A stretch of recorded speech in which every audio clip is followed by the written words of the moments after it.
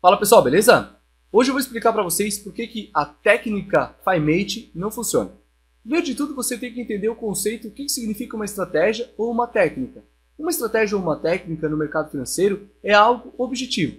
Aquele negócio que eu sei exatamente aonde que eu vou entrar, quais são os parâmetros. Então isso é uma técnica, isso é uma estratégia. Já a técnica FiMate, ela não se enquadra nesse, nesse cenário porque ela é muito subjetiva. Quando você vai traçar um canal, eu e você podemos interpretar um canal de forma diferente. Então não pode se transformar a técnica, técnica né, entre aspas, FiMate em uma estratégia objetiva. Porque se a própria pessoa que desenvolveu esse método voltar, por exemplo, vários meses no passado e tentar replicar o que ele fez na conta real, o resultado vai ser totalmente diferente. Porque vai muito do viés, vai, vai muito do feeling do momento, do achismo. Então definir o que é um suporte, o que é uma resistência, ele é muito subjetivo. Eu vou dar um exemplo agora para vocês que vai ficar bem claro aonde que eu quero chegar nesse conceito. Por que, que a técnica FiMate né, não é considerado uma técnica, né? não é considerado um padrão gráfico objetivo, e sim um conceito, que depois eu vou mostrar para vocês que não funciona, beleza? Bom, uh, se eu explicar para vocês assim, ó, ah, compre no suporte e venda na resistência. Todos nós vamos concordar que é melhor comprar na, no suporte e vender na resistência. Isso é algo que funciona. Só que eu vou mostrar para vocês que, diferentemente do que falar, o que é um suporte e o que é uma resistência, é diferente na hora de você parametrizar. O suporte sempre vai funcionar, a resistência sempre vai funcionar. Mas o que, que define um suporte e uma resistência é que é mais difícil. Quer ver? Olha só. Veja, por exemplo, esse exemplo aqui. Ó. O mercado aqui, deixa eu pegar aqui meu, meu programinha. Olha só. O mercado aqui, ó, ele vinha caindo, certo? Ele deixou aqui ó, um nível de suporte. Bom, se a gente tivesse comprado nesse nível de suporte ali, a gente pode perceber que a gente teria falhado, né? Ou seja, esse suporte aqui, ó, ele rompeu para baixo. Então, né, foi um suporte falho. Se a gente continuar um pouco mais para baixo, a gente percebe que é o seguinte, olha só, esse outro cenário aqui, ó, foi um suporte que funcionou. Perceba, esse suporte aqui, ó, realmente, a partir daqui desse suporte, né, onde que o preço ele tocou ali, onde que ele tocou lá no passado, tá vendo? Era um suporte, aqui ele funcionou. Perceba que aqui, ó, a partir desse toque aqui, ele subiu. Mas por que que nesse toque aqui o mercado ele não subiu? O suporte e resistência não deixou de funcionar. Perceba que o mercado ele subiu num suporte. Eu, e a mesma coisa acontece quando ele cai numa resistência. Só que quando eu vou parametrizar uma estratégia de fato, ou seja, transformar ela num negócio objetivo, é onde que eu consigo definir uma técnica. E a FiMate ela se enquadra nesse, ele se encaixa nesse quadro aí. Ou seja, ele está mostrando um rompimento. Ou seja, todo rompimento ele, ele funciona, só que nem todo rompimento funciona. Entende onde eu quero chegar? Ou seja, todo suporte funciona, mas nem todo suporte funciona. Quando eu vou parametrizar a estratégia, opa, aqui ó, o suporte funcionou, mas por que, que o outro suporte não funcionou? Você vai dizer o quê? Então aquilo ali não era um suporte, o suporte ali embaixo. Essa é a questão que as, que as pessoas não conseguem entender o que é um conceito o que é uma estratégia. Então, eu vou mostrar para vocês agora né, o conceito da estratégia FiMate. A gente vai tentar objetivar ela e você vai ver que ela não funciona. Olha só, vou pegar aqui, por exemplo, o GBP-USD, né, que está aberto ali, botar no M15 e vou pegar aqui ó, o template que eu já salvei como tester, que eu tenho um indicador né, que faz exatamente isso aí. E olha só, esse indicador aqui ele está programado para fazer o seguinte.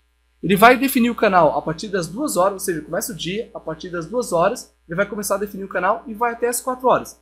Esse valor ali eu posso definir conforme eu quero. E aqui eu botei como três canais de expansão. Eu posso ter quantos canais eu quiser também. Então beleza, olha só, a gente percebeu que, presta atenção pessoal, ó, nesse candle aqui, ó, que era as duas horas, veio até nesse candle aqui, que era as 4 horas, e ele definiu qual foi a máxima e qual foi a mínima desse canal aqui, que a gente definiu como canal de referência, certo? Então a gente fez isso aqui. Olha só, se a gente pegar aqui, ó, ó perceba que aqui ele teve um pavio aqui um pouquinho mais para baixo, tá vendo? Mas eu posso definir isso aqui, ó, lá no meu indicador, um pouco mais. Por exemplo, eu quero botar ali 4.15, ou seja, 4 minutos e 15. Ó, perceba que ele vai atualizar daqui a pouquinho, quer ver? Esperar um, um candle aí, um, um tick, né, variar aí, para o indicador plotar. Olha só, agora perceba que entre as duas horas e às 4 horas ele teve aqui a máxima e teve aqui a mínima, certo? Então o indicador ele faz isso, o indicador né, e o robô. Perceba o seguinte, olha só, nós temos aqui a máxima desse caixote, nós temos aqui a mínima e nós temos o canal de referência, né? Que é esse canal aqui que seria né, entre as 2 horas e 4 horas. Lembrando que eu posso mudar isso ali, posso botar no início do dia, no fim do dia, não importa. Mas eu estou tentando parametrizar, então eu vou ter que definir. Oh, vai ser as duas horas, vai ser as três. Não chegar aqui, ah, vai ser isso aqui, porque eu quero isso ali. Só vou mostrar aquilo que funciona. Não, eu vou ter que parametrizar. Então perceba que ao parametrizar, a gente tem aqui, ó. Daí temos o nível 1, que é a resistência 1. Aí temos aqui, ó, resistência 2, 3, independente, né? Eu posso ter quantos níveis eu quiser, né? Mas perceba que o indicador ele vai plotar aqui, ó. ó resistência 1, resistência 2, resistência 3. Se romper para baixo, nós temos o nível de suporte 1, nível de suporte 2 e quantos canais de referência a gente quiser. Ou seja, a partir daquele canalzinho ali, a gente formou né, os canais para cima e canais para baixo. Então, só para vocês entenderem que eu estou parametrizando isso, eu estou definindo as regras do jogo, ou seja, eu estou desenvolvendo uma estratégia a partir desse conceito de rompimento, que é o conceito de rompimento que a gente está trabalhando aqui, beleza? Bom, beleza. Agora eu vou fazer o seguinte, eu vou pegar ali, vou pegar hoje, o dia de hoje mais ou menos, e vou dar um iniciar. Prestem atenção. Configurado dessa forma ali que a gente botou ali, certo? Então vai começar o dia, vamos dar aqui o inicial, olha só. Começou ali o dia, certo? A partir das 2 horas até as 4, ele vai definir o canal de referência, certo? Ou seja, pegar a máxima e a mínima que aconteceu naquele momento ali. Então vamos esperar mais um pouquinho ali, que ele tá, vai definir ali certinho, né? Ele está agora mais ou menos ali às, às 2h30, 2h45, 3 horas. Daqui a pouco ele vai botar as ordens pendentes, né? Às 4 horas, né? Vamos esperar mais um pouquinho. Ó, perceba, aqui ele plotou as ordens pendentes. Olha só. É, lembrando que esse robô aqui, pessoal, ele é meu, exclusivo, feito por mim, para mostrar que essa técnica realmente não funciona, beleza? Lembrando que a pessoa pode dizer assim, ah, Júlio, mas tu não botou o canal de referência certo, tu não... Esquece, pessoal, porque na hora que tu parametrizar, você vai ver que não funciona, não existe edge, expectativa matemática positiva, para esse tipo de estratégia. Olha só, ele definiu aqui o caixote, certo?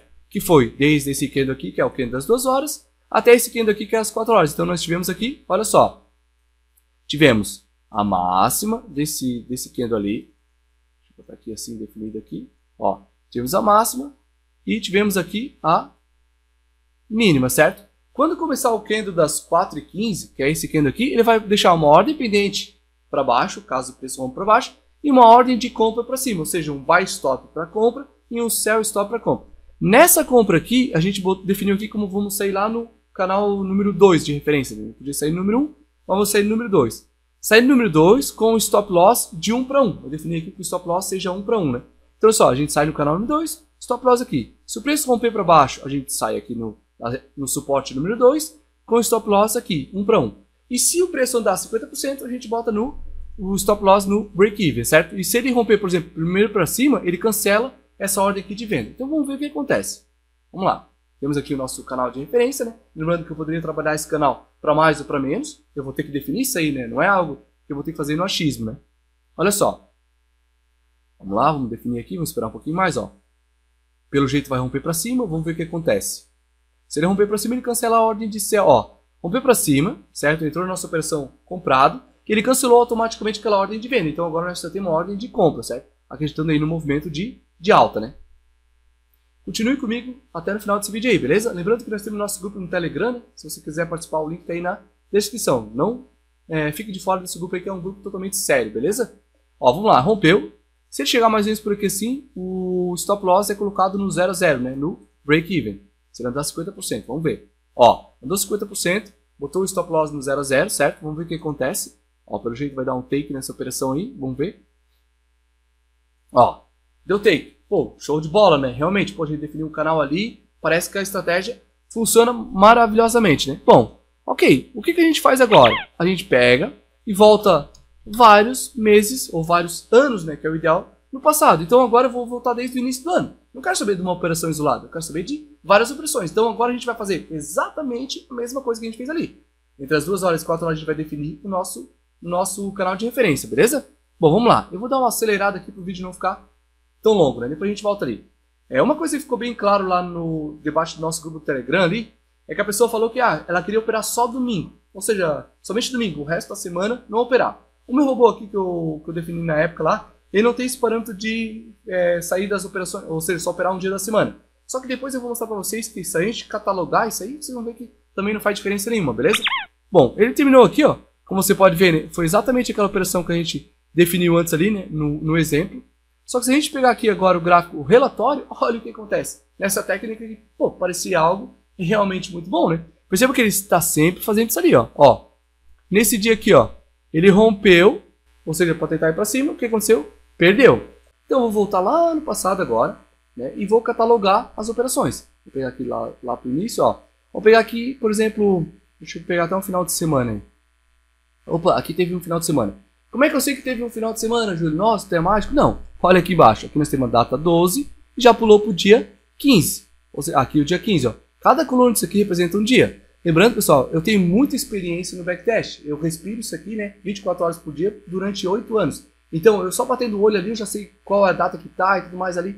Então, assim, eu tenho bastante experiência nisso. Então, pode ser que você, né, fique um pouco perdido ali. Mas, ó, eu sei que aqui era numa sexta-feira, eu sei que aqui era numa segunda, segunda-feira, ou seja, domingo à noite para nós, né, que seria onde a pessoa só queria operar nesse dia ali, beleza? Bom, vamos, vamos catalogar aqui, ó. Ó, aqui a primeira operação ele entrou, chegou a bater mais de 50%, o robô botou no break-even aqui e saiu no break-even, ou seja, essa operação saiu no 0 a 0. Então, saiu no 0 a 0. Vamos pegar catalogar agora outro final de semana. Então, acelero aqui e vou esperar até dar um outro final de semana. Deixa eu pegar aqui, voltar um pouco para trás. 17, 18, 19, aqui ó, 19, 22. Ó, aqui foi numa sexta, aqui foi no final de semana. Ó, aqui já deu stop, ó. Percebam, tem um break-even, um stop, certo? Vamos lá, gente só está catalogando o final de semana, né? Ó, mais um aqui, ó. Ó, mais um stop, olha só. Ó, por que, que eu sei, ó, dia 25 aqui? Ah, não, opa. Pera aí, não era ali não. Aqui, ó, dia 26 pro dia 29, né? Ou seja, sexta pro dia 29. Ó, dia 29 aqui, nessa data aqui, ó, mais um stop. Ó, você pode ver que foi um stopzinho ali, certo? Então, mais um stop. Vou pegar outro final de semana. Deu um, dois, três. Opa, aqui, ó. Ó, mais um stop, ó. Pulou do dia 2 de fevereiro pro dia 5. Então, eu no modo visual já consigo sacar tudo isso aí, entende? Então, beleza, ó, mais um stop. Vê, ah, vou operar só no domingo à noite, que é o que eu quero definir. Bom, aqui tá dizendo. Claro que a pessoa pode definir, ah, mas eu quero entrar na primeiro candle, é, né, ou seja, no primeiro momento. Isso tudo dá para, dá para parametrizar. Só que, pessoal, eu fiz de tudo para ver se essa técnica funciona e não funciona. Não importa o tipo do canal que eu faço, essa, essa estratégia, estratégia entre aspas, né, não tem o chamado edge, não tem expectativa matemática positiva. Falando daquele negócio lá, olha só, pessoal. É, aqui, ó. Ah, agora vai ficar muito claro o que eu quero chegar. Olha só. Temos aqui, por exemplo, esse canal aqui, ó. Temos aqui e aqui. Vamos supor que eu defini diferentemente do que o robô fez ali, ó. Que é só daqui até aqui, certo? Ou seja, o robô fez ali e perdeu. Só que se a pessoa tivesse feito o canal desse tamanho aqui, ó, a pessoa teria ganhado. Por quê? Aqui ele rompeu e realmente teria vendido. Só que perceba que aqui lá, ó, o rompimento ele funciona, suporte funciona, resistência funciona, mas a partir do momento que eu vou parametrizar o negócio, é que o negócio não funciona. Porque se eu definir esse canal daqui até aqui, eu perco. Porque eu vou entrar no início desse canal aqui por rompimento e não funciona. Então é isso que o cara está vendendo, entendeu? Ele não está vendendo uma técnica, uma estratégia, ele está vendendo um conceito, entendeu? Agora você vê ali, por que, que o robô dele, que ele comercializa, chamado FiMate, não tem uma estratégia objetiva, é uma estratégia onde você tem que parametrizar, você tem que colocar os dados. Porque se fosse algo objetivo onde a pessoa fosse lá, ele mesmo colocar lá, todo mundo ia saber que a estratégia não funciona. Então é isso, pessoal. É, essa técnica, né, ela não funciona. Infelizmente, né, as pessoas não têm critérios adequados para avaliar direito as coisas. Então, se você gostou desse vídeo, né, compartilhe aí com seu amigo que acredita nessa técnica aí. E é isso, pessoal. Espero que você tenha gostado desse vídeo, né? Esse vídeo aqui, esse vídeo deu bastante trabalho, porque foi um vídeo bastante longo, mas eu quis trazer aqui de forma didática, mais, uh, eu sei que vai ter gente falando: "Ah, mas tu trouxe o canal errado". Esquece, pessoal. Saibam separar o joio do trigo. Beleza? Tamo junto, é nóis. Valeu.